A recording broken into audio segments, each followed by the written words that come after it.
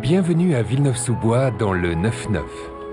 Découvrez ces lieux de culte magnifiques, ces espaces verts accueillants, ses rues paisibles, son architecture moderne et élégante. Et enfin, sa police. Police nationale C'est une enquête de voisinage, n'ayez pas peur. C'est à propos de votre voisine décapitée. C'est-à-dire que moi, au départ, la police, c'était pas trop une vocation. Vous croyez que moi, quand j'étais môme, je rêvais d'être préfet Messieurs, je vous demanderai la plus grande vigilance. Pas de bavure. Salut les bougnous, là Il y a au moins 10 000 euros. 10 000 euros, ça fait 2 000 euros chacun On est refait